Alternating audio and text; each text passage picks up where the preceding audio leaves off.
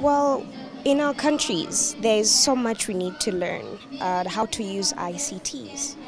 We know that ICTs are links to development, but we don't know how to use them, how to apply them to achieve that development that we need.